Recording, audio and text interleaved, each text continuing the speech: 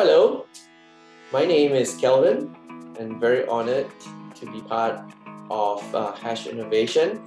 And uh, a little bit about myself. Uh, I have been in this plant-based arena for the last five years and spent uh, the bulk of my time really working on um, various types of proteins um, in the alternative protein space.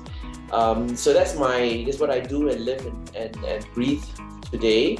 Um, and there's a reason I personally I've been going uh, I've been in the food business for the last 25 years and I felt I have my fair share of uh, of health issues. Um, so one of the big uh, impediment for me to make this change is um, for a better life, to lead a better life, a healthier life. Um, and also um, I've also been um, surrounded by animals throughout my life, whether it is the ocean or in the land. And I think um, by taking one less life, um, you know, it's also something that, uh, um, you know, is pretty much what, how, what I believe in. You don't have to take a life to be able to eat. Um, as all of you might know, unless you lived in a cave, um, climate change is real and uh, it is um, a very serious issue. Um, so one way for us to mitigate uh, climate change uh, is to consume less meat.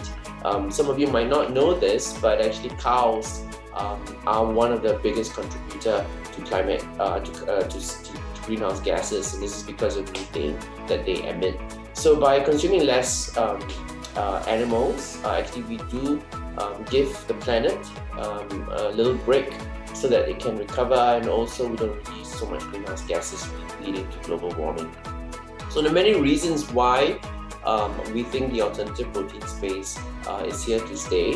Um, apart from the fact that we don't have enough food, we don't have enough water, we don't have enough land, and the population is growing to about 10 billion people, so we need enough protein for everyone. But there are also other not so tangible reasons like um, personal well-being, animal welfare, and so on. So I look forward to meeting all of you uh, at, um, at the summit and uh, really excited because now without COVID, we're in person. So um, yeah, see you very soon. Thank you.